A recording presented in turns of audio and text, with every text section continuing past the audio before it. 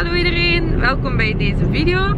Zoals de titel al zei, ehm, heb ik mijzelf voor kerst een redelijk groot cadeau gekocht. Of ja, groot. Groot van, uh, groot van liefde, niet van formaat. We zijn er nu naar op weg. Wat het precies is, dat uh, hou ik nog een beetje als een verrassing. Ik ga op de plaats zelf niet filmen. Ik vind het een beetje delicaat om dat te vragen. Maar ik ga dus wel um, jullie toelichten naar de hand. Dus uh, ja, ik uh, ben benieuwd wat jullie ervan vinden. Ik heb echt zenuwen. Allee ja, zenuwen, gezonde zenuwen. Gewoon een beetje, kijk er heel erg naar uit. Dus uh, ik zie jullie dadelijk met wat meer uitleg.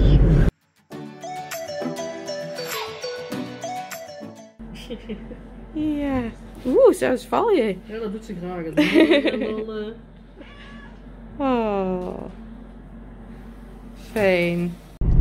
Dat was dus mijn grote cadeau. Ik heb een kat uh, geadopteerd. Of ja, nog niet. Uh, we hebben dus het katje wat jullie juist hebben gezien, hebben wij gekozen. Dat is zo moeilijk. Allee, ja, je wilt liefst allemaal een goede thuis geven. Maar bij haar hadden we de beste klik. Ah, het moet nog helemaal in orde gezet worden. Ik ben echt gewoon super blij. Maar langs de andere kant ben ik ook wel echt content dat we ze nog niet mee naar huis hebben genomen. Want wij gingen niet voor een specifieke kat. We gingen echt gewoon kijken alsof er, als er eentje tussen zat met wie we een match hadden. En die paste bij onze gezinssituatie.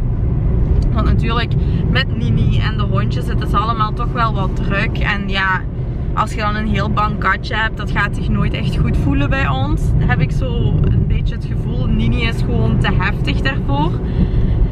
Dus we hadden een paar katjes waar we uit uh, konden kiezen. Er was eentje van die was heel bang. Nee, twee eigenlijk. Die waren heel bang. Dat gaat, dat moet je eigenlijk een thuis hebben waar het de tijd heeft om open te bloeien. Met een klein kind zie ik dat niet echt goed komen. Dan was er een ouder, ah ja, ouder katje, uh, een jaar en een half zoiets. Twee jaar misschien.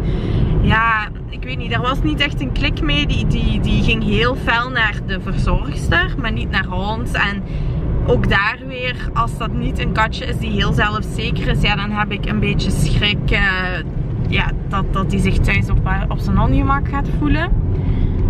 Dus uh, ja, we hebben dan uiteindelijk bij twee tijgerkatjes, daar zit hij.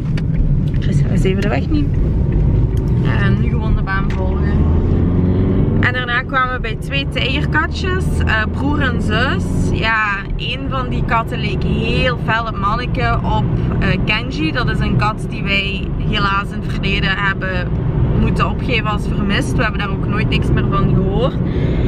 En dan zijn zus, die is lichtgrijs. Dat is dus degene die wij hebben gekozen. Ja, ik vond het moeilijk. Ik, ik vond het ook emotioneel om te zeggen, jij wel, jij niet. Uh, ja, maar we kunnen niet alles. Ik denk drie katten is al heel wat. Um, een vierde, ga. weet je, als er, als er problemen zijn, ze hebben iets of uh, ja, ze hebben hoge kosten van de dierenarts. Ik wil het ook allemaal gewoon kunnen betalen en dan kun je niet bezig blijven. We hebben ook veel meer dieren dan alleen katten, dus er moest een keuze gemaakt worden.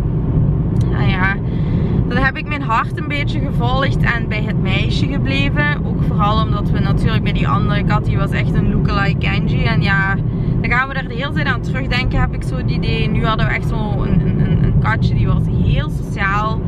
Is ook wel een zwerfkat geweest. Um, maar die is door iemand in huis genomen geweest en goed verzorgd. En uiteindelijk heeft hij die wel naar het asiel gebracht. Dus ze is wel mensen gewoon. Is ook haar broer heeft ze altijd meegeleefd. Dus dat wil zeggen dat ze elkaar ook kennen. Dus um, dat ze ook andere katten gewoon is. Dat vond ik ook wel een belangrijke.